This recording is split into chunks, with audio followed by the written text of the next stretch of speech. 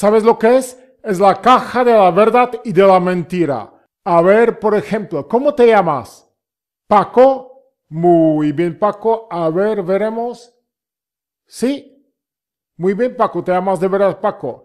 Ahora mismo, di, di alguna mentira. ¿Cómo te llamas? Marian. Pero si es que eres chico. Ah, claro, eres chico, no te puedes llamar Marian. Muy bien, chicos. Y ahora mismo hay que preguntar a la caja. ¿Tenéis los deberes hechos? Sí, ¿de verdad? ¡Ah! Pero chicos, hay que hacer los deberes.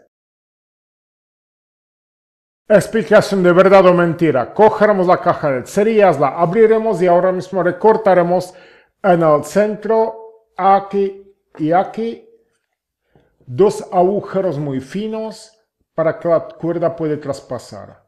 Muy bien. En forma de triángulo, como así y como así. Muy bien. Ahora cogeremos la cuerda. Pondremos dentro de la goma para el pelo la cuerda y ahora mismo de nuevo cerraremos la caja. Muy bien.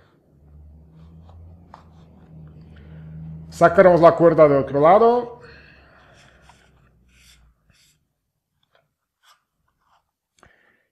Y el truco está preparado y listo. Una vez hemos tensado la cuerda, la caja no bajará.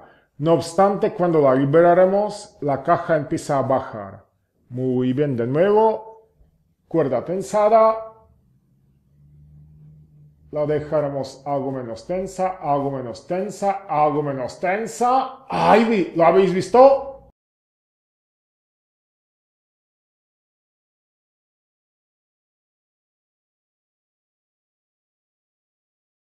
Si quieres ver más videos de magia, mentalismo y juegos, suscríbete a mi canal, compártelo con tus amigos y haz el comentario. Gracias.